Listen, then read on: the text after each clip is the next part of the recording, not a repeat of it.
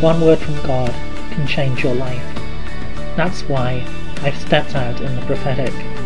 My name is Kevin Bridges, and you're listening to Daily Prophetic.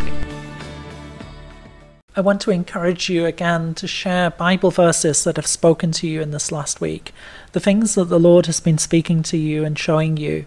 And as we do that, we encourage one another in the way that the Lord has been leading us, the way the Lord has been speaking. I want to share just a simple verse from 1 Corinthians 16:14. It says, "Let all that you do be done in love." It's such a simple verse and yet it is so deeply profound because it is our heart attitude when we do things that makes all of the difference. Whether we do something out of obedience, whether we do something out of a sense of duty, or whether we do it with a heart of love. So I want to encourage you again just to write in the comments below the words that the Lord has been speaking to you, to share with one another, and to encourage each other. God bless you. Have a great day.